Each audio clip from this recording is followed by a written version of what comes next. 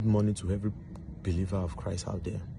My name is Blessing, and I would like this information to go straight to our Father in the Lord, Pastor Hiyi Adeboye, the General Overseer of the Redeemed Christian Church of God. Daddy, I've tried to get through to you. I've made efforts, but um, they prove unfruitful, which I understand. But I realize this is the only means and the fastest means to get to you.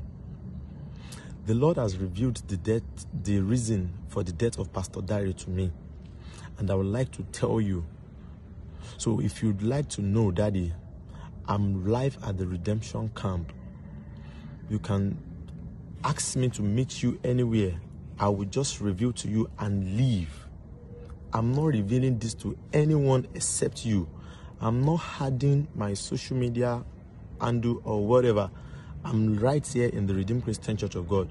Daddy, anywhere you want me to meet you, I will meet you. And then I will say what I have to say. Then I'll go back my way. Daddy, please, I want to every believer of Christ, to a lover of our Father in the Lord, please make sure this message gets to him. Please make sure this message gets to him.